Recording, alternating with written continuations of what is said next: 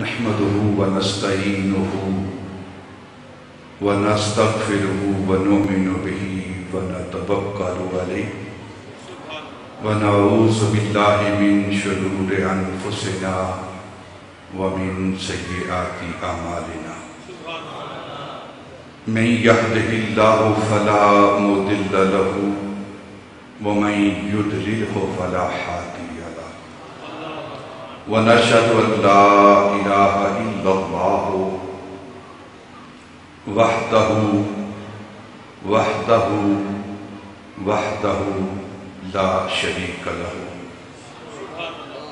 ونشهد الرحمن الرحيم.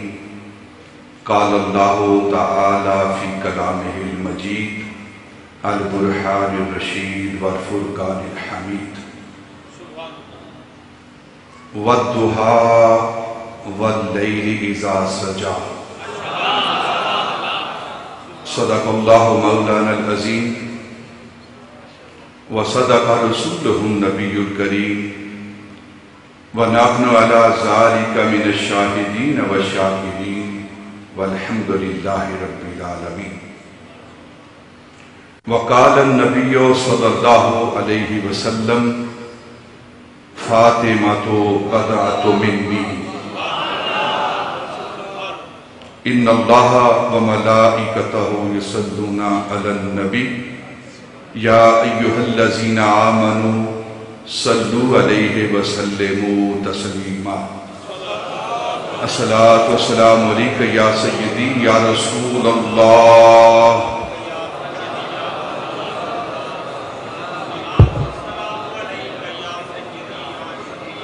مل کر درود پاک پڑھیں، بلند آواز سے اس واقعے کو پڑھیں ٹھیک ہے۔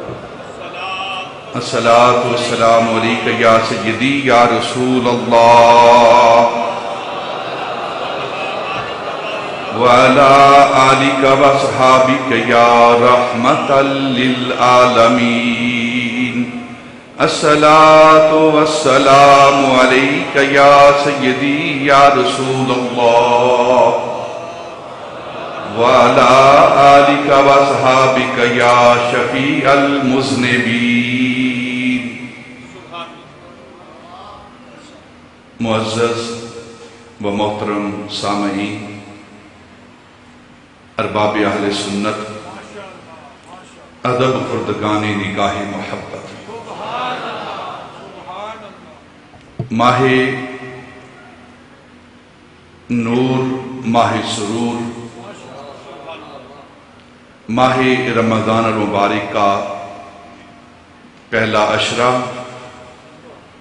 اور پہلا جمعۃ المبارک ہے۔ یہ وہ ماہ مبارک جس کی ہر شب کے بدلے میں، ہر رات کے بدلے میں اللہ رب العزت ایک لاکھ انسانوں کو جنت عطا فرماتا ہے۔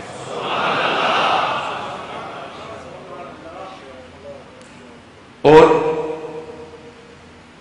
جس کے ایک جمعہ کی رات کو جو آج کا دن ہے جمعے کا دن ہے۔ اس رات کو دس لاکھ انسانوں کو جنت عطا فرماتا ہے۔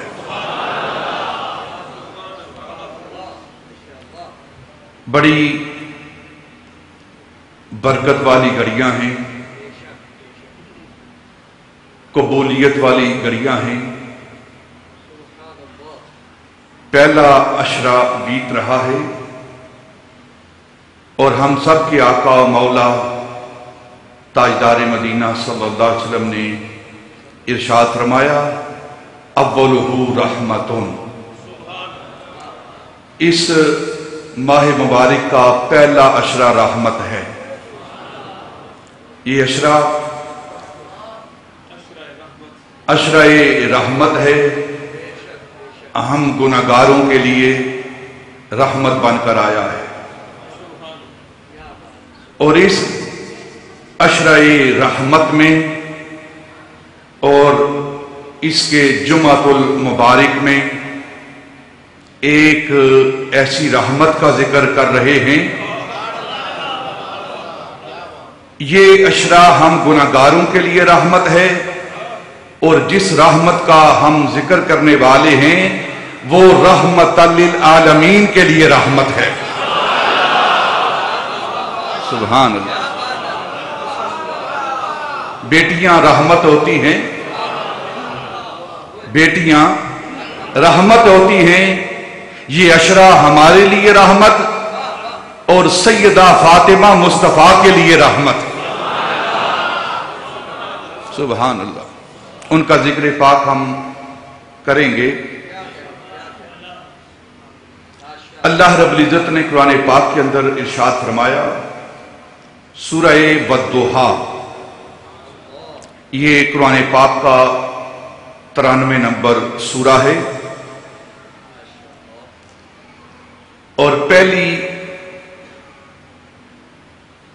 آیت کے لفظ سے اس سورت کا نام بدوہا رکھا گیا ہے۔ اللہ رب العزت ارشاد فرماتے ہیں بدوہا واللیل اذا سجا۔ قسم ہے ودہا کی اور قسم ہے واللیل اذا سجا کی۔ ودہا کیا ہے اور واللیل اذا سجا کیا ہے۔ یہ قرآن پاک کی دو آیات ہیں۔ ودہا چاشت کے وقت کی قسم۔ چاشت کے وقت کی قسم۔ واللیل اذا سجا اور تحجد کے وقت کی قسم۔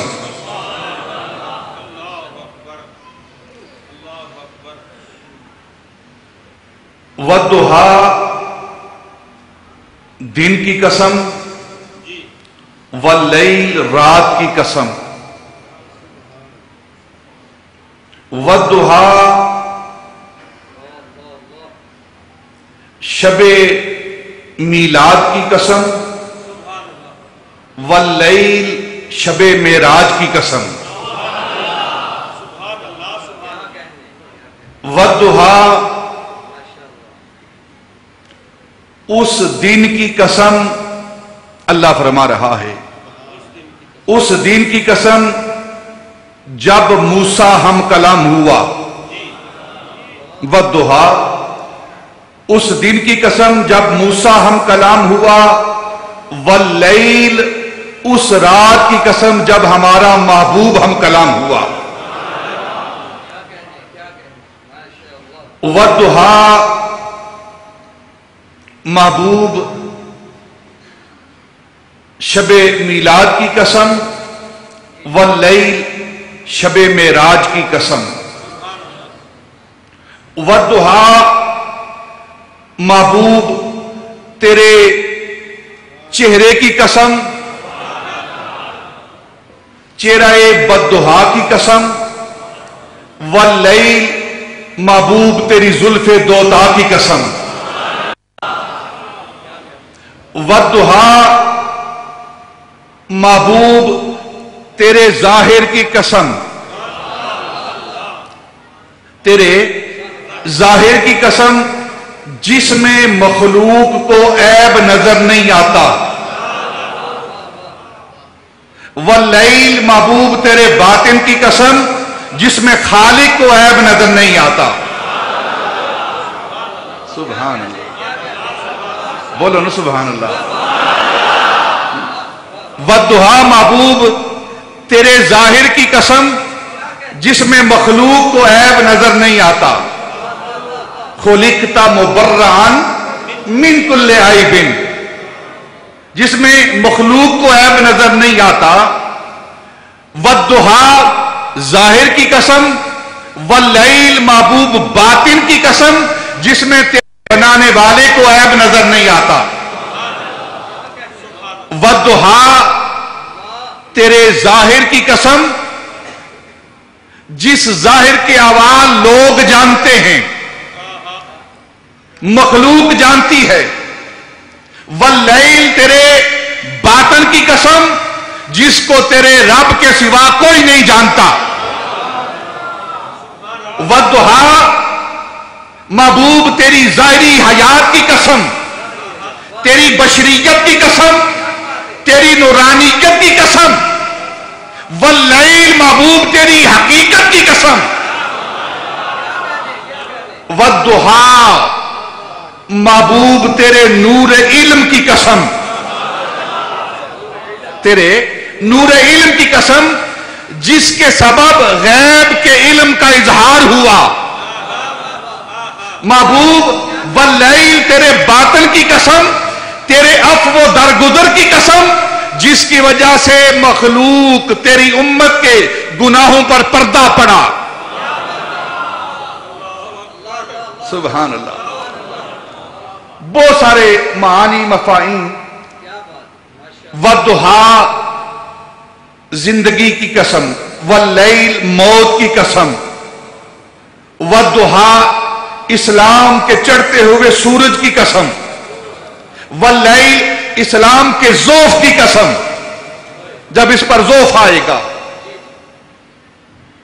ودہا کا ایک معنی جو آج کے موضوع کے ساتھ متعلق ہے، جس کو حضرت امام فخر الدین راضی، اللہ ان سے راضی ہو۔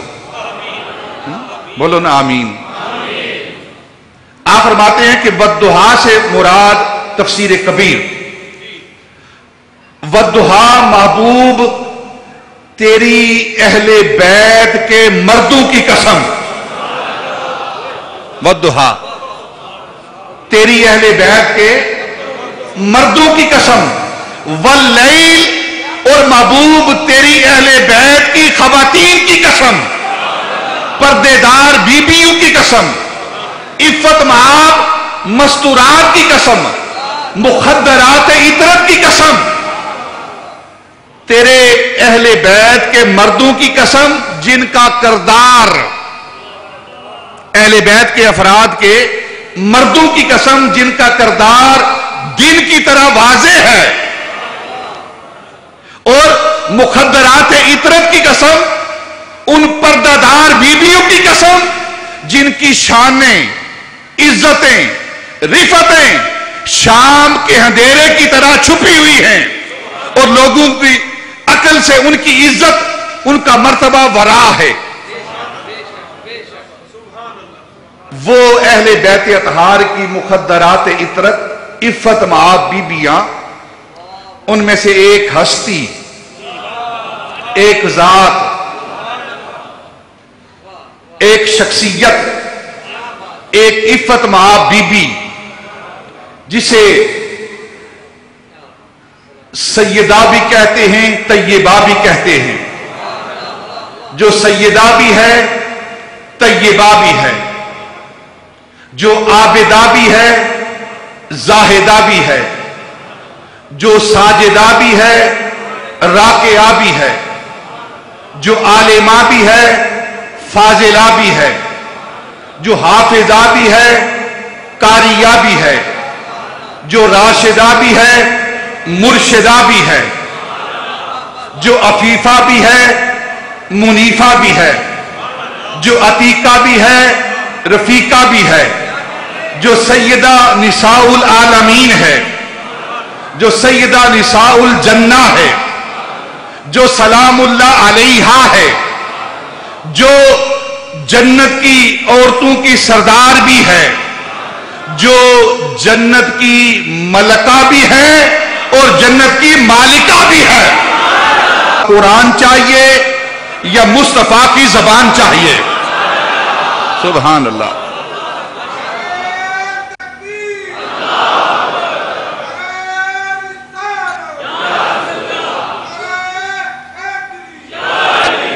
یا رب کا فرمان یا مصطفیٰ کی من نہ دانم، من نہ دانم۔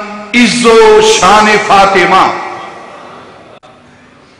کعبہ من آستان فاطمہ۔ من سراپا جرم و عشیاں، او بطول۔ ہم گناگار ہیں۔ سراپا جرم و عشیاں ہیں۔ سراپا گناہ ہیں۔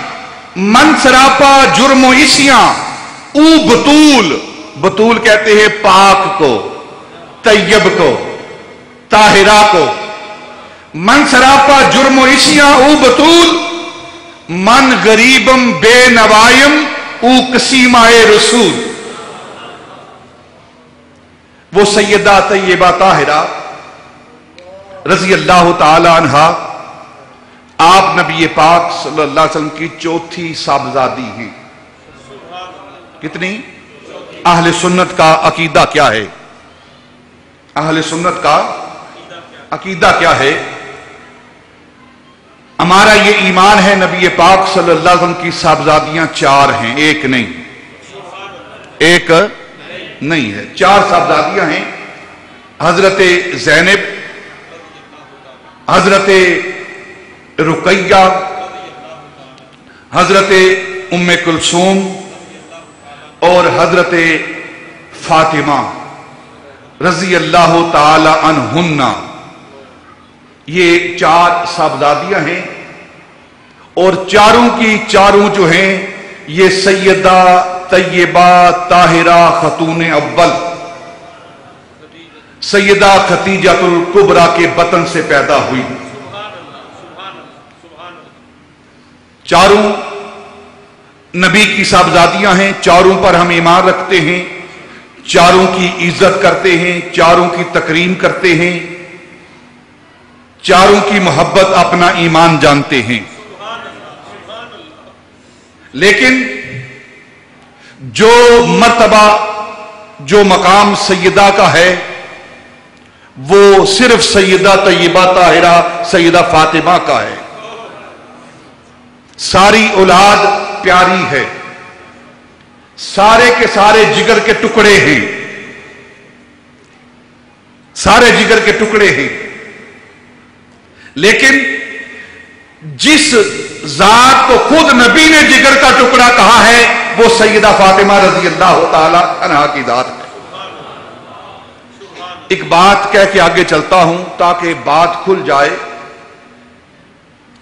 جس طرح آدم علیہ السلام سے لے کر نبی پاک صلی اللہ علیہ وسلم کی ذات بابرکات تک سارے نبی اللہ کو پیارے ہیں۔ سارے نبی اللہ کو پیارے ہیں۔ اللہ کے مقبول ہیں۔ سارے رسول نبی اللہ کے مقبول ہیں، پیارے ہیں، محبوب ہیں۔ لیکن جو مرتبہ تاجدار مدینہ کو حاصل ہے وہ کسی نبی کو حاصل نہیں۔ ہیں سارے ہی مقبول، ہیں سارے ہی محبوب، ہیں سارے ہی پیارے۔ لیکن جو مرتبہ تاجدار مدینہ کو حاصل ہے، کسی اور نبی کو حاصل نہیں۔ ہیں چاروں بیٹیاں نبی پاک کی۔ لیکن جو مرتبہ سیدہ فاطمہ کو حاصل ہے، وہ دوسری بنات کو حاصل نہیں ہے۔ کیوں آپ سوال کریں گے کیوں؟ یہاں کیوں کا سوال نہیں، یہاں سوال محبت کا ہے۔ محبت میں کیوں نہیں ہوتی؟ محبت میں کیوں نہیں ہوتی؟ اللہ کی مرضی ہے جس کو اپنا مرضی محبوب بنائے۔ جس کو اپنا آدم کو صفی اللہ بنایا نو کو نجی اللہ بنایا، ابراہیم کو خلیل اللہ بنایا اسماعیل کو زبی اللہ بنایا عیسیٰ کو روح اللہ بنایا اور جب محبوب کی باری آئی تو محبوب کو حبیب اللہ بنایا۔ اس کی مرضی ہے۔ جس طرح اللہ کو پوچھنے والا کوئی نہیں ہو اسی طرح رسول کو پوچھنے والا بھی کوئی نہیں ہے۔ رسول جس کو چاہے اپنے جگر کا ٹکڑا کہے۔ اور وہ ٹکڑا جس کو کہا گیا ہے فاطمہ تو بدا تو منی، وہ سیدہ طیبہ طاہرہ سیدہ فاطمہ رضی اللہ تعالی عنہ کی ذات برکات ہے۔ حضرت امام قرطبی، احکام القرآن کے اندر تفسیر قرطبی جس کو آپ عام بولتے ہیں، اس کے اندر لکھتے ہیں کہ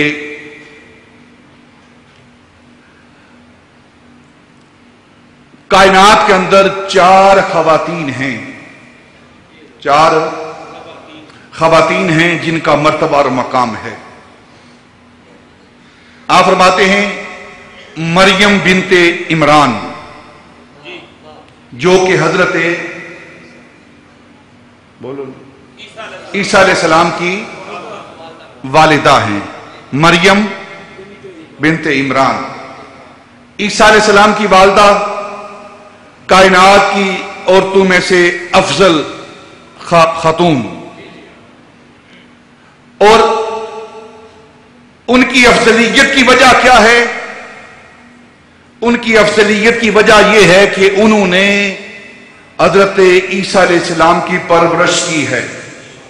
عیسیٰ علیہ السلام کو پالا ہے۔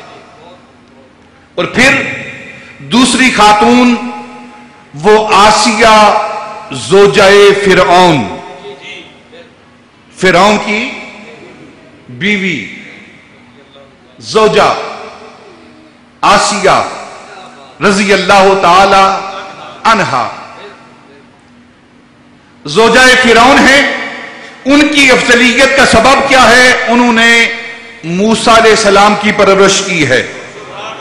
نبی کی پرورش کوئی عام چیز نہیں۔ انہوں نے حضرت آسیہ زوجائے فرعون، حضرت موسا علیہ السلام کی پرورش کی، اور حضرت ختیجہ بنت خویلد، انہوں نے اسلام کی پرورش کی۔ اس لیے افضل ہیں۔ اور چوتھی خاتون، وہ سیدہ طیبہ طاہرہ، سیدہ فاطمہ رضی اللہ تعالی عنہ بنت محمد صلی اللہ علیہ وسلم انہوں نے حسن اور حسین کی پرورش کی ہے۔ انہوں نے حسن اور حسین کی پرورش کی ہے، رضی اللہ تعالی عنہما۔ آدم علیہ السلام سے لے کر نبی پاک صلی اللہ علیہ وسلم کی ذات تک سارے انبیاء وہ تشریف لائے، وہ اسلام کو لاتے رہے۔ اسلام کی تعلیمات پھیلاتے رہے، اسلام کی نشو و نما کرتے رہے، اسلام کو پھیلاتے رہے۔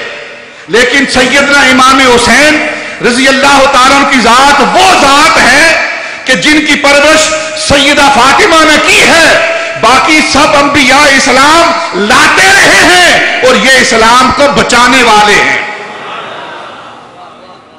وہ اسلام کی پرورش کرنے والے ہیں اور یہ اسلام کو بچانے والے ہیں۔ یہ سیدنا امام حسن اور سیدنا امام حسین کی والدہ ہیں۔ اس لیے ساری کائنات کی خواتین کے اندر اہل سنت کا یہ مسلک ہے، عقیدہ ہے کہ کائنات کی ساری خواتین کے اندر سب سے افضل مقام رکھنے والی وہ سیدہ طیبہ طاہرہ سیدہ فاطمہ تو زہرا رضی اللہ تعالی انہا کی ذات ہے۔ اور یہ وہ ہستی ہیں جنہوں نے سیدنا امام حسین کی پرورش کی ہے۔ کون؟ سیدہ فاطمہ رضی اللہ تعالی عنہا۔ وہ عبداللہ کی پوتی وہ عبداللہ کی پوتی، وہ آمنہ کے پور کی بیٹی، وہ عبداللہ کی پوتی، وہ آمنہ کے پور کی بیٹی، وہ کملی اوڑنے والے محمد نور کی بیٹی۔ کون فاطمہ؟ جس نے اور بھی معزز کیا گھرانے کو۔ جس نے اور بھی معزز کیا گھرانے کو، حسین پال کے جس نے دیا زمانے کو۔ حسین پال کے جس نے دیا زمانے کو۔ سیدہ طیبہ طاہرہ کی کوئی اور شان نہ بھی ہو۔ بڑی شانیں ہیں۔ بڑی شانیں ہیں۔ کہیں قرآن انہیں کوسر کہہ رہا ہے۔ ان آتئی نقل کوسر کہیں قرآن ان کا نام لائلت القدر کہہ رہا ہے۔ سیدہ فاطمہ کا۔ کہیں نبی پاک کی زبان انہیں بدا تو منی کہہ رہی ہے کہ میرے جگر کا ٹکڑا ہے۔ کہیں نبی پاک صلی اللہ علیہ وسلم انہیں جنت کی عورتوں کی سردار کہہ رہے ہیں۔ اتنی شانیں ہیں۔ لیکن ان کی اگر کوئی اور شان نہ بھی ہو، سیدہ طیبہ کی یہ شان کافی ہے کہ وہ حسین کی ماں ہے۔ حسین کی کون سیدنا امام حسین رضی اللہ تعالی عنہ؟ اگر سیدہ کی شان کو جاننا ہو، تو پہلے سیدنا امام حسین کی شان کو جانے۔ حسین کون ہے؟ ان کی شان و مرتبہ کیا ہے؟ ان کی بارے میں ہمارا نظریہ کیا ہے؟ عقیدہ کیا ہے؟ ہمارا ذوق کیا ہے؟ ہمارا وجدان کیا ہے؟ ہمارا شوق کیا ہے؟ ہم سارے مل کر کہتے ہیں کہ حسین کی شان کیا ہے؟ حسین ہمارا سب کہتے ہیں۔ انسان کو بیدار تو ہو لینے دو۔ ہر قوم پکارے گی ہمارے ہیں حسین۔ حسین ان کا۔ حسین ان کا۔ حسین ہمارا، حسین تمہارا، حسین رب کا، حسین سب کا، حسین انبیاء کا، وہ اولیاء کا، وہ مصطفیٰ کا، وہ مرتضی کا، وہ صوفیوں کا، کلندروں کا، وہ خشکیوں کا، سمندروں کا۔ حسین اگر نہ شہید ہوتا تو آج گر گر یزید ہوتا۔ نبی کی سنت ایان نہ ہوتی، خدا کے گھر میں اذان نہ ہوتی، بشر کے چہرے پہ زنگ ہوتا، انسانیت کا کوئی اور ہی رنگ ہوتا۔ حسین وہ انقلاب لایا، بقا کی ایسی کتاب لایا، جس کا عنوان ہے شہادت اور شہید زندہ ہے تاکہ آمد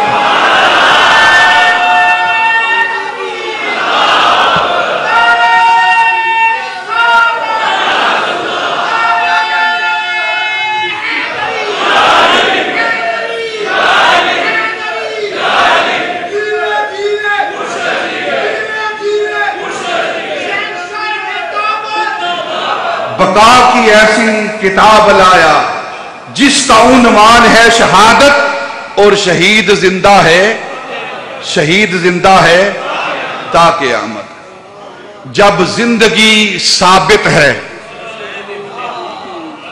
جب زندگی ثابت ہے، حسین ابن علی کی، ہم موت نہ مانیں گے مدینے کے نبی کی۔ اہل سنت کا عقیدہ دے رہا ہوں۔ بولو سبحان اللہ۔ باہر والے بھی۔ اہل بیت کا ذکر سن کے خوش ہوا کرو۔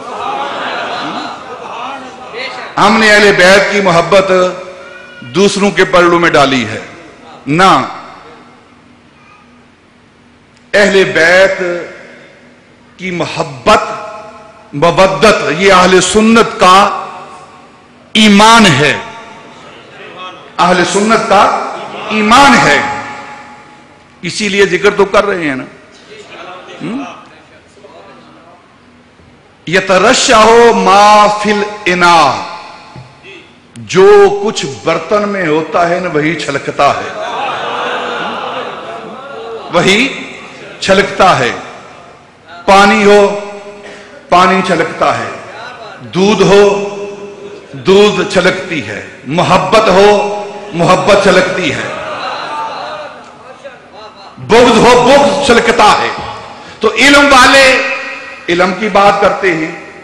حلم والے حلم کی بات کرتے ہیں۔ فضل والے فضل کی بات کرتے ہیں۔ عشق والے عشق کی بات کرتے ہیں۔ محبت والے دلوں کے بٹن کے اندر کی محبت ہے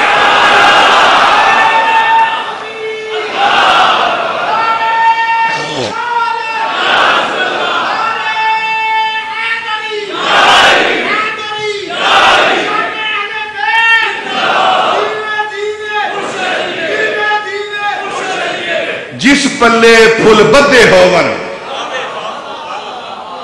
خوشبو تو پھر آنی چاہیے نا۔ جس پلے پھول بدے ہومن آوے باس خوشبو۔ آوے باس رومالوں جس رمال کے اندر پھول ہوں نا اس رمال سے بھی خوشبو آتی ہے۔ اور جس سینے میں اہل بیت کی محبت ہو ان کے جسموں سے بھی خوشبو آتی ہے۔ جسموں سے بھی خوشبو آتی ہے۔ اہل بیت کی محبت اہل سنت کا ایمان ہے اور ہماری عبادتوں کی جان محمد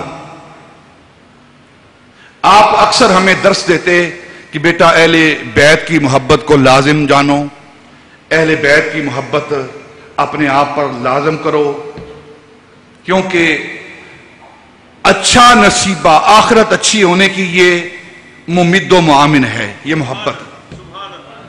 جو چاہتا ہے اس کی آخرت اچھی ہو جائے، اس کا اخیر اچھا ہو جائے، اس کی موت اچھی ہو جائے، اسے چاہیے کہ وہ اہل بیت کے ساتھ محبت کرے۔ آپ فرماتے ہیں، میرے والد اکثر ہمیں درس دیتے، اور جب ہمارے والد کا آخری وقت آیا، تو حضرت امام ربانی کہتے، میں آپ کے پاس بیٹھا ہوا تھا۔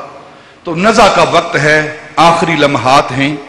تو میں نے پوچھا، ابا جان اب آپ کی کیفیت کیا ہے؟ حالت کیا ہے؟ معاملہ کیا ہے؟ تو فرمانے لگے، بیٹا، اللہ کا شکر ہے، لاکھ لاکھ شکر ہے، اس دنیا سے جا رہا ہوں، اہل محبت کی محبت اہل بیت کی محبت ساتھ لے کر جا رہا ہوں۔ اہل بیت کی محبت بیت ہیں، نبی پاک صلی اللہ علیہ وسلم کی ذات، پھر سیدنا مولا علی رضی اللہ تعالیٰ کی ذات، سیدنا امام حسین، سیدنا امام حسن اور سیدہ فاطمہ رضی اللہ تعالی انہا یہ اہل بیت اتحار ہیں۔ سید کون ہیں؟ یہ بھی بات آپ سن لیں۔ سب سے پہلے سید نبی پاک صلی اللہ علیہ وسلم کی ذات۔ اللہ رب العزت نے یاسین کہہ کر آپ کو آوان کہتے ہیں، علوی کہتے ہیں، سید نہیں کہتے۔ کیونکہ سیدی حسنی اور حسینی ہیں۔ سیدنا امام حسن سے اور سیدنا امام حسین سے جو اولاد چل رہی ہے، وہ سید ہیں۔ اور ان کی شان کیا ہے؟ ان کی نشانی کیا ہے ان دونوں کی؟ جو حسنی ہو اس کی نشانی کیا ہے، اور جو حسینی ہو اس کی نشانی کیا ہے؟ جو حسنی ہے نا، وہ خوبصورت ہوتا ہے۔ وہ خوبصورت ہوتا ہے، وہ سید سونا ہوتا ہے، جو حسنی ہو۔ کیونکہ حدیث پاک میں آتا ہے، کل قیامت کے روز جنت کے اندر انبیاء کے بعد جو سب سے زیادہ حسن والا ہوگا، وہ سیدنا امام حسن ہوں گے۔ وہ سیدنا امام حسن کی ذات ہوگی۔ انبیاء کے بعد سب سے حسین چہرہ وہ سیدنا امام حسن کا ہوگا، جنت کے اندر۔ تو حسنی سید خوبصورت ہوتا ہے اور حسینی سید خوبصورت ہونے کے ساتھ ساتھ وہ صابر ہوتا ہے، صبر کرنے والا ہوتا ہے۔ یہ نشانی ہے۔ اہل بیت اتحار کے بارے میں ایک بات اور عرض کر دوں کہ یہ جو انما یرید اللہ لیذہبانکم الرجس اہل البیت ویطہرکم تطہیرا۔ اس کے بارے میں اگر آپ مسلم شریف حدیث کی دیگر کتابوں کا مطالعہ کریں تو دو باتیں ملتی ہیں۔ ایک کیا ہے کہ اس سے پہلے ایک اور بات سن لیں۔ ایک ہے شان نزول۔ شان نزول۔ ایک ہے شان ورود۔ قرآن پاک کی آیات کے لیے شان نزول ہوتا ہے۔ جو لفظ استعمال ہوتا ہے نا کہ اس آیت کا سبب کیا ہے، کیوں نازل ہوئی ہے؟ اس کے نازل ہونے کا سبب کیا ہے، اس کو شان نزول کہتے ہیں۔ اور ایک ہے شان ورود وارد ہونا یہ حدیث پاک کے لیے لفظ استعمال ہوتا ہے کہ یہ حدیث پاک نبی پاک صلی اللہ علیہ وسلم نے کیوں فرمائی؟ اس کے فرمانے کا سبب کیا ہے؟ اس کے وارد ہونے کی ریزن اور نکتہ کیا ہے؟ اس کو شان برود کہتے ہیں۔ اور انما یرید اللہ یذهبان کم الرجس اهل البیت۔ یہ جو آیت ہے، اس کے بارے میں احادیث کے اندر تفاصیر کے اندر آتا ہے کہ دو چیزیں ہیں۔ ایک نبی پاک صلی اللہ علیہ وسلم ممبر پر تشریف رما ہے یا گھر میں تشریف رما ہے آپ نے اپنی چادر مبارک کو سیدنا امام حسن، سیدنا امام حسین، مولا علی سیدہ فاطمہ رضی اللہ تعالی انہا پر، ان ہم پر اوڑا اور فرمایا اللہ ہا اولائے اہل بیتی۔ فضحب انہم الرجس ویتہرکم تطہیرا۔ پہلے یہ عمل نبی پاک نے کیا کیا عمل کیا؟ ایک طرف ایک زانو پر سیدنا امام حسن کو بٹھایا، ایک زانو پر سیدنا امام حسین کو بٹھایا۔ ایک طرف اپنی بیٹی فاطمہ کو بٹھایا اور ایک طرف حضرت مولا علی کو بٹھایا اور اوپر چادر دی۔ یہ عمل نبی پاک کر رہے ہیں۔ جب آپ نے یہ عمل کیا، ان پر چادر اوڑھ کر۔ اللہ کی بارگاہ میں عرض کی اللہ ہا اولائے اہل بیتی۔ ادھر مصطفیٰ کی زبان سے یہ نکل الفاظ نکلنے تھے۔ اللہ نے جبریل کو بھیجا، جبریل جا جا کر میرے محبوب کی بارگاہ میں عرض کر، انما یرید اللہ ہو لے محبوب، اللہ نے اجر سے ارادہ کر رکھا ہے۔ ترجمہ سنو کیا کر رہا ہوں۔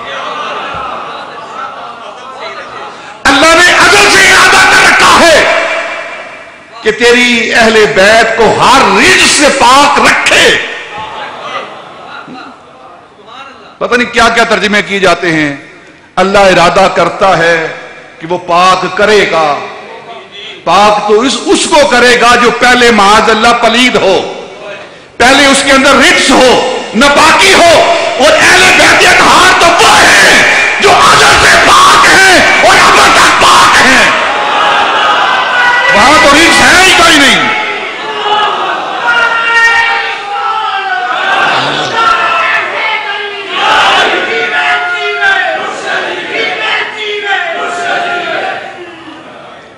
کیونکہ ارادہ جو اللہ رب العزت کی سات صفات ہیں نا، ذاتیہ۔ صفات ذاتیہ۔ سمانیہ آٹھ کہہ لے چلو۔ کیونکہ ایک کے اندر اختلاف ہے، اس لیے میں نے سات بولی ہیں۔ سات متفق ہیں۔ آٹھ مطالعہ کرنا چاہیے ہمارے ساتھیوں کو، پڑھنا چاہیے۔ مجھے خوشی ہے اس بات کی۔ میں نے سات بولی ہیں، میرے بھائی نے آٹھ بولی ہیں۔ جو آٹھویں صفت ہے نا، اس کے اندر کہتے ہیں وہ ذاتی نہیں ہے، صفات ذاتیہ میں اس کا شمار نہیں ہے، اس لیے سات۔ سات صفات ہیں جس کا کوئی اختلاف نہیں کرتا۔ ان سات صفات میں سے ایک صفت، اللہ رب العزت کی ذات کی ایک صفت، وہ ہے ارادہ۔ ارادہ۔ اللہ کی صفات میں سے ایک صفت ارادہ ہے۔ وہ اس کی ذات کے ساتھ قائم ہے۔ جس طرح اس کی ذات ازلی و ابدی ہے، اس طرح اس کی صفات بھی، صفت بھی ازلی اور ابدی ہے۔ تو کیا مطلب؟ انما یرید اللہ. ہو ازلی ہے. اللہ ارادہ فرما چکا ہے. جس طرح اس کی ذات ازلی، اس کا ارادہ بھی ازلی. کیا ارادہ کیا اس نے؟ کہ اے محبوب، آپ کی اہل بیت کو پاک رکھے. پاک رج سے، ہر طرح کے رج سے. نہ عقیدے کی غلازت، نہ عمل کی گندگی نہ کسی فیل کی گندگی، نہ۔ اہل بیتیت ہار وہ ہیں، ان کا عقیدہ بھی پاک، ان کا عمل بھی پاک، ان کی ذاتیں بھی پاک، ان کی سوچیں بھی پاک، ان کے نام بھی پاک، ان کے جسم بھی پاک، اور جو جو ان کے ساتھ لگ جاتا ہے، وہ بھی پاک۔ اللہ اکبر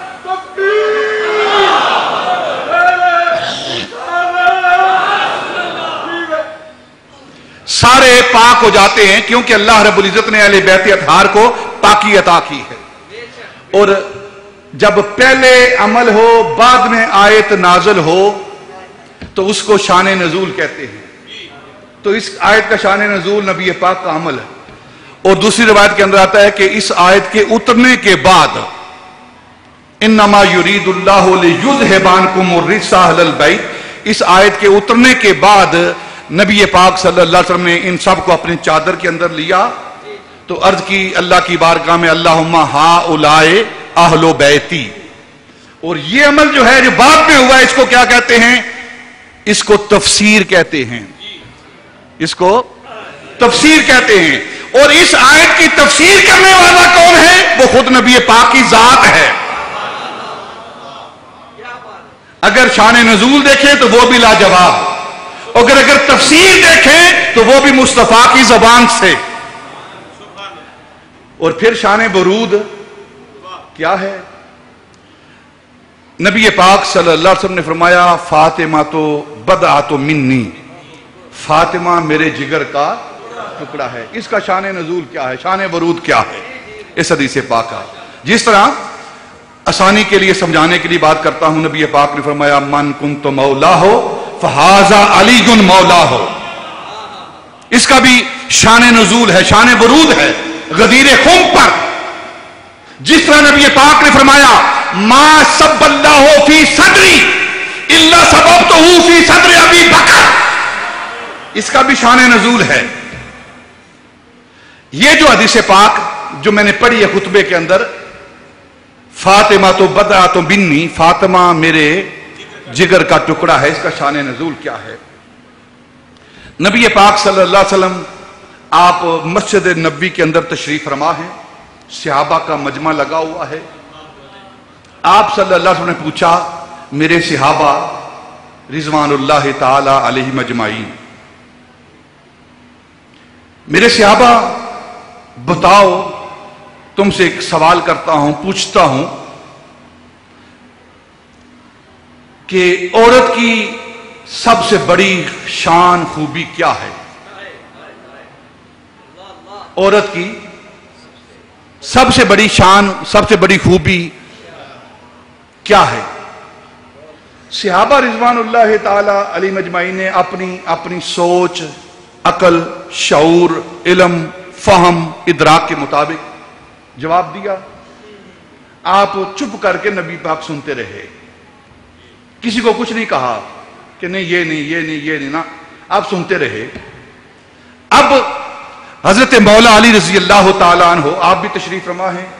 جب آپ نے سارے سوالوں کے جواب سن لیے نا، تو آپ اٹھ کر فوراً اندر گئے۔ گھر کے اندر گئے اور جا کر سیدہ طیبہ طاہرہ۔ سیدہ فاطمہ رضی اللہ تعالی عنہ سے کہنے لگے، فاطمہ، یہ بتاؤ کہ عورت کی سب سے بڑی خوبی کیا ہے؟ تو آپ نے سیدہ فاطمہ رضی اللہ تعالی عنہ نے مولا علی کی طرف دیکھا۔ تو فرمانے لگی، علی، یہ سوال تمہارا تو نہیں ہے۔ بتاؤ یہ سوال کس نے کیا ہے؟ یہ تمہارا سوال نہیں لگتا۔ مولا علی نے فرمایا، واقعی یہ سوال میرا نہیں، یہ سوال آپ کے ابا جان کا ہے۔ آپ کے ابا جان کا ہے۔ انہوں نے یہ سوال پوچھا ہے۔ فرمان لگی ہاں میرے باپ کے سوا، میرے آقا مولا کے سوا ایسا سوال کوئی نہیں کر سکتا۔ یہ سوال میرے باپ کا ہے۔ اور سنو میرے سوا اس کا جواب بھی کوئی نہیں دے سکتا۔ پوچھا کیا جواب ہے؟ تو فرمانے لگی کہ عورت کی سب سے بڑی خوبی یہ ہے، سب سے بڑی خوبی یہ ہے کہ نہ اس کی نظر کسی غیر محرم پر پڑی ہو اور نہ ہی غیر محرم کی نظر اس پر کبھی پڑی ہو۔ ایک عام مسئلہ ہے کسی غیر محرم کی نظر جو ہے وہ عورت پر نہ پڑے۔ یہ عام مستورات کے لیے مسئلہ ہے۔ لیکن سیدہ طیبہ وہ عفت اور تہارت کی پیکر، وہ فاطمہ جن کے گھر جبریل بھی اجازت کے بغیر نہیں آتا۔ ایسا پردہ ہے اس گھر کا۔ ان کی عفت و طہارت کیا ہے؟ ان کی پردہ داری کیا ہے؟ آپ فرماتی ہیں کہ کسی مستور کی کسی عورت کی نظر وہ کسی غیر مان پر نہ پڑے، یہ سب کا سب سے بڑا کمال ہے۔ حضرت مولا علی واپس تشریف آئے مجمع کے اندر۔ نبی پاک اسی طرح بیٹھے ہوئے ہیں، صحابہ جواب دے رہے ہیں، تو مولا علی نے ہاتھ کھڑا کیا۔ بولو سبحان اللہ یار۔ یا رسول اللہ، میں جواب دیتا ہوں۔ فرمایا ہاں علی تم جواب دو۔ عرض کی یا رسول اللہ، عورت کی سب سے بڑی خوبی یہ ہے کہ اس کی نظر کسی غیر مارم پر نہ پڑے۔ یہ اس کی خوبی ہے۔ نبی پاک نے غور سے مولا علی کی طرف دیکھا۔ علی، یہ جواب تمہارا ہے؟ یہ جواب تم دے رہے ہو۔ عرض کی یا رسول اللہ، نہیں۔ یہ آپ کی بیٹی اور میری زوجہ فاطمہ کا جواب ہے۔ فرمانے لگے، فاطمہ تو بنا تو ملی۔ فاطمہ میرے جگر کا ٹکڑا ہے اور یہی اس کا جواب دے سکتی ہے۔ یہی اس کا جواب دے سکتی ہے۔ سبحان اللہ۔ وہ سیدہ فاطمہ رضی اللہ تعالی عنہا جو یہ فرماتی ہیں کہ عورت کی سب سے بڑی خوبی یہ ہے کہ اس کی نظر بھی کبھی کسی غیر معلوم پر نہ پڑی ہوئی اس کی خوبی ہے۔ جو بیان کرنے والی ہے، کیا اس کا عمل نہیں ہوگا؟ اہل بیت اتھار کی ذاتیں تو وہ ذات، ذاتیں ہیں وہ زبات قدسیہ ہیں کہ کہتے بعد میں ہیں، عمل پہلے کرتے ہیں۔ اس پر ایک حدیث پاک، سیدہ فاطمہ رضی اللہ تعالی انہوں کی زندگی پر پیش کرتا ہوں۔ ایک دن مدینہ المنورہ میں نبی پاک صلی اللہ علیہ وسلم گھر تشریف لائے۔ آگے سیدہ فاطمہ رضی اللہ تعالی عنہ گھر کے اندر موجود ہیں۔ تو آپ دروازے کے اندر داخل ہوئے تو آواز آئی، کوئی بول رہا ہے اور ساتھ کسی دوسرے فرد کی بھی آواز آ رہی ہے۔ دو فرد گھر کے اندر داخل ہوئے، ایک نبی پاک صلی اللہ علیہ وسلم کی ذات ببرکات اور ایک حضرت عبداللہ بن ام مختوم رضی اللہ تعالی عنہ، صحابی رسول نبینے ہیں۔ آنکھوں میں روشنی نہیں ہے، نور نہیں ہے۔ لیکن سینہ نور سے بھرا ہوا ہے۔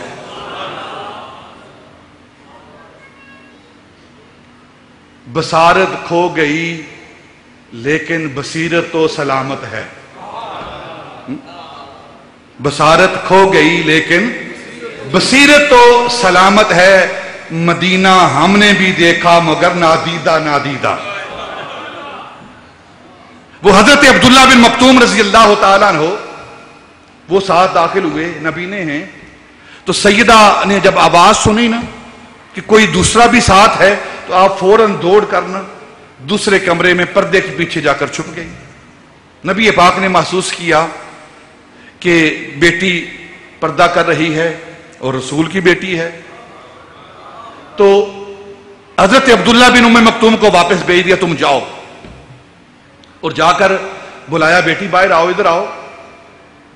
بیٹی، آپ دوسرے کمرے میں جا کر چھپ گئی ہو، پردے کے پیچھے چلی گئی ہو۔ وہ جو میرے ساتھ آئے تھے نا سیابی میرے، وہ نبینے ہیں۔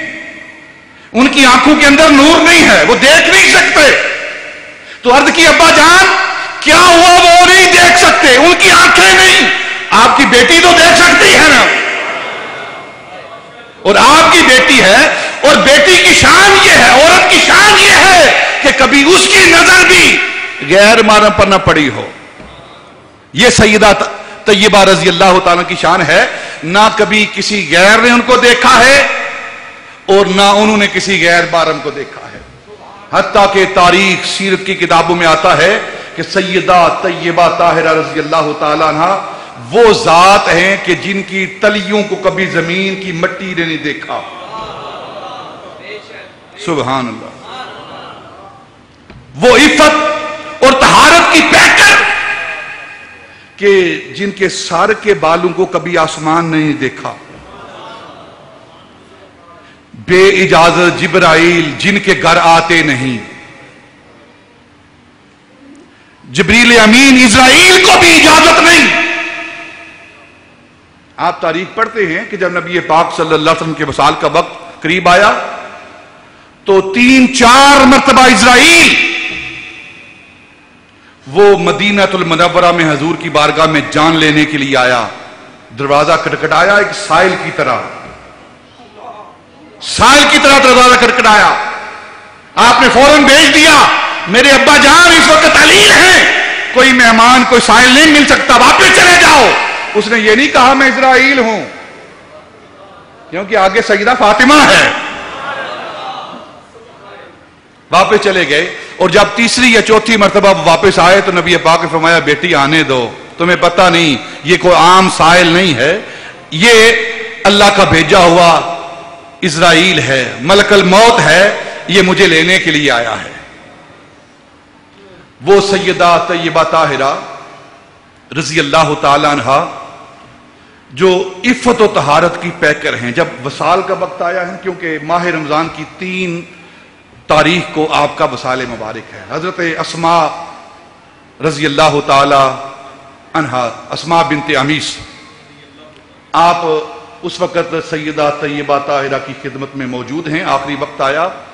خود سیدہ فاطمہ رضی اللہ تعالی عنہ نے غسل کیا، کپڑوں سمیت۔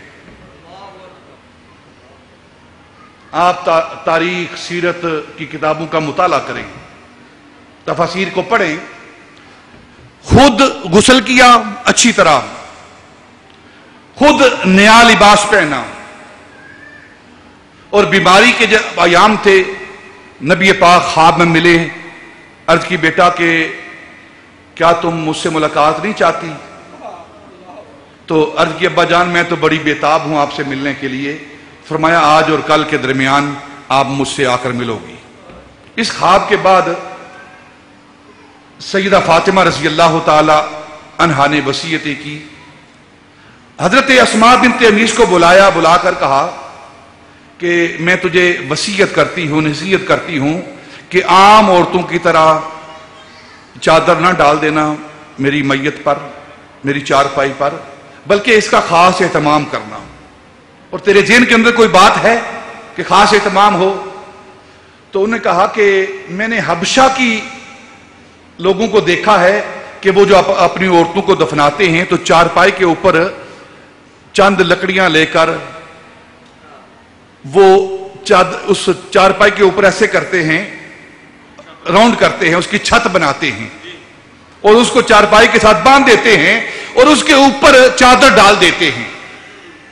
اور سیدہ اسما بنت امیس آپ کی بارگاہ میں حاضر ہو کر وہ سوٹیاں لے کر آئی، وہ لکڑیاں لے کر آئی، اسی طرح چار پائی کے اوپر لگا کر سیدہ کو دکھایا، پھر چادر اوپر ڈالی، تو سیدہ طیبہ طاہرہ آپ خوش ہو گئی۔ چہرہ مسکرانے لگا ہاں اسما بنت امیس میں یہی چاہتی ہوں کہ اسی طرح میرا اہتمام کیا جائے۔ جب سیدہ کا وسال ہوا تو اسی طرح اہتمام کیا گیا۔ چار پائے کے اوپر ان لکڑیوں کو باندھا گیا، ان سوٹیوں کو باندھا گیا، پھر اوپر چادر دی گئی تاکہ معلوم ہی نہ ہو کہ اندر کون لیٹا ہوا ہے۔ جس طرح ایک پورا پردہ بن چکا ہے۔ اور پھر جب روح قبض ہونے کی باری آئی تو اللہ رب العزت نے ملک الموت کو، اسرائیل کو، روح قبض کرنے والے فرشتے کو بھیجا، جا میرے محبوب کی بیٹی کی روح کو قبض کر۔ اسرائیل سر جھکائے کھڑے ہیں۔ یا اللہ، جاتے کیوں نہیں؟ یا اللہ، تیرے محبوب کی بیٹی ہے، پردہ دار ہے، عفت باب ہے۔ مجھ میں یہ ہمت نہیں کہ میں اس کی روح کو جا کر قبض کروں۔ میں کس طرح اس کے جسم کو ہاتھ لگاؤں؟ تو سیرت کی تاریخ کی کتابوں کے اندر آتا ہے، جب اسرائیل نے ملک الموت نے اپنا عذر پیش کیا اللہ کی بارگاہ میں، تو خود اللہ رب العزت نے اپنے دست قدرت سے سیدہ طیبہ طاہرہ سیدہ فاطمہ کی روح کو نکالا۔ یہ عفت و تہارت ہے پاکیز کی ہے۔ لوگ یہاں باتیں کرتے ہیں، عجیب طرح کی باتیں کرتے ہیں۔ ان کے سینوں کے اندر اہل بیت کا بغض بولتا ہے۔ یہ کس طرح ممکن ہے کہ غسل بھی نہیں دیا گیا، کفن بھی نہیں پہنایا گیا؟ یہ خلاف شریعت کس طرح ہو سکتا ہے؟ تمہیں شریعت کی کیا خبر؟ وہ تو خود شریعت والے ہیں۔ اگر شہید کے لیے کفن اور غسل ضروری نہیں، تو جو شہیدوں کی ماں ہے، جس کی کوک سے شہید جنم لیتے ہیں، ان کے لیے بھی غسل کی ضرورت نہیں ہے، کفن کی ضرورت نہیں ہے۔ تم شریعت کی بات کرتے ہیں، وہ تو شریعت کے مالک ہیں۔ شریعت ان کے گھر سے بنتی ہے۔ اگر شہید کے لیے کفن اور دفن کی ضرورت نہیں ہے، شہید کے لیے غسل کی ضرورت نہیں ہے، تو جو سید الشہداء کی ماں ہے، وہ سیدہ طیبہ طاہرہ رضی اللہ تعالی عنہا، جن کی روح کو خود اللہ رب العزت نے اپنے دست قدرت سے قبض کیا ہے۔ اسرائیل کی ڈپٹی بھی تو خدا ہی لگاتا ہے نا۔ بذات خود اسرائیل کی کیا ضرورت ہے؟ کسی کی روح نکالے کسی کی بھی۔ اگر آپ انبیاء و اولیاء کے بارے میں یہ نظریہ رکھتے ہیں نا، تو ہمارا بھی نظریہ ہے کہ انبیاء فرشتوں سے افضل ہیں، اولیاء فرشتوں سے افضل ہیں۔ جب انبیاء اولیاء کو کوئی اختیار نہیں، تو فرشتوں کو کیا اختیار ہے؟ کہ اللہ کی اجازت کے بغیر وہ کسی کی روح نکالیں۔ تو اللہ کی مرضی ہے اسرائیل کو بھیجے، نہ بھیجے، خود نکالے یا اسرائیل جا کر نکالے۔ میں اکثر ایک بات کہتا ہوں، قانون اور ہے، قدرت اور ہے۔ قانون اور ہے، قدرت اور ہے۔ ماں باپ سے اولاد پیدا ہوتی ہے۔ یہ اس کا قانون ہے۔ اور آدم کو بغیر ماں باپ کے پیدا کرے یہ اس کی قدرت ہے اولاد ماں سے پیدا ہوتی ہے۔ یہ اس کا قانون ہے۔ لیکن اگر ہوا علیہ السلام کو بغیر ماں کے آدم کی پسلی سے پیدا کرے، تو یہ اس کی قدرت ہے۔ جن سے جلد پیدا ہوتی ہے۔ یہ اس کا قانون ہے۔ صالح علیہ السلام کی اونٹنی کو وہ پہاڑ سے پیدا کرے، پتھر سے پیدا کرے، یہ اس کی قدرت ہے۔ نسلیں باپ سے چلتی ہیں۔ اگر وہ اپنے محبوب کی نسل اپنی بیٹی فاطمہ سے چلائے، تو یہ اس کی قدرت ہے۔ روح اسرائیل نکالتا ہے ملکل موت نکالتا ہے۔ یہ اس کا قانون ہے۔ اور اگر سیدہ کی روح خود نکالے، تو یہ اس کی قدرت ہے۔ یہ اس کی قدرت ہے۔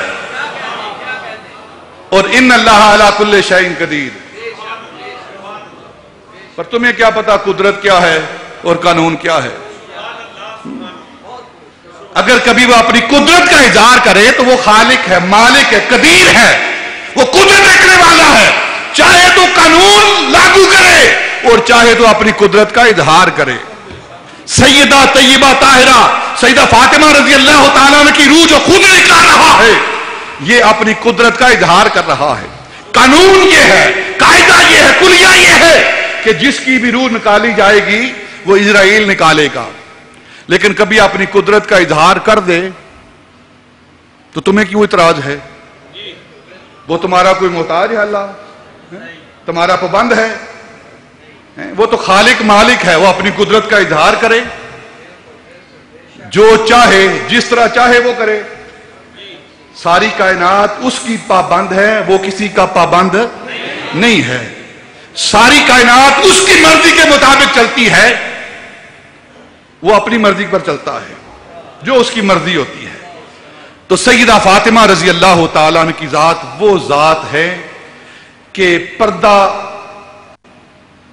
تہارت عفت، بزرگی جن کے گھر کی شان ہے۔ جن کے گھر کی شان ہے۔ وہ سید فاطمہ رضی اللہ تعالیٰ عنہ نبی پاک صلی اللہ علیہ وسلم فرمایا، فاطمہ تو بدا تو منی، فاطمہ میرے جگر کا ٹکڑا ہے۔ اور نبی پاک نے فرمایا، یہ فاطمہ کیسی ہے؟ ام میں ابھی قوم میں کہ یہ اپنے باپ اس پر اگر تو بہت وقت چاہیے۔ پاک نے یہ کیوں فرمایا ہے؟ کیا کیا عمل کیے ہیں؟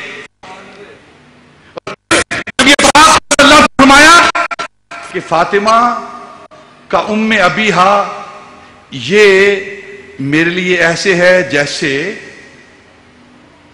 بیٹی ہو کر میری ماں کی طرح عمل کر رہی ہے۔ اور پھر نبی پاک کا عمل کیا ہے؟ بخاری، مسلم، حدیث کی کتابیں۔ کہ نبی پاک صلی اللہ علیہ وسلم تشریف فرما ہوتے، تو ابو بکر آتے، عمر آتے، عثمان آتے، علی آتے دوسرے صحابہ میں سے کوئی آتا تو نبی پاک صلی اللہ علیہ وسلم اپنی جگہ پر تشریف رکھتے، بیٹھے رہتے۔ حتیٰ کہ جبریل امین وہ آتے تو نبی پاک اپنی جگہ پر تشریف رکھتے۔ اور اگر کسی وقت نبی پاک کی مجلس لگی ہوتی اور سارے صحابہ ہوتے، ابو بکر رضی اللہ تعالیٰ نہ ہوتے اور نبی پاک کی بارگاہ میں جبریل بیٹھے ہوتے۔ جبریل بیٹھے ہوتے اور سیدنا ابو بکر تشریف لاتے تو آپ کے استقبال کے لیے جبریل کھڑے ہو جاتے۔ یہ مقام ہے سیدنا ابو بکر صدیق کا کہ نبی پاک کی مجلس میں اگر جبریل بیٹھا ہوتا تو نبی پاک کے اس دوست یار کی تعظیم کے لیے، تکریم کے لیے جبریل امین کھڑے ہو جاتے۔ لیکن نبی پاک کبھی کسی کے لیے کھڑے نہیں ہوئے، لیکن جب سیدہ، طیبہ، طاہرہ وہ نبی پاک کی بارگاہ میں حاضر ہوتی، تو نبی پاک اپنی بیٹی کے استقبال کے لیے کھڑے ہو جاتے، اپنا مسلح چھوڑتے اور اپنی بیٹی کے ہاتھوں پر بوسے دیتے۔ خود نبی نہیں اٹھلا، اٹھ رہا، بلکہ نبوت استقبال کے لیے اٹھ رہی ہے۔ وہ سیدہ طائرہ رضی اللہ تعالیٰ کی شان ہے، جن کا آج ہم دن منا رہے ہیں۔ اللہ امت مسلمہ کی نبی پاک امت کی کامل بخش فرمائے وما علیہ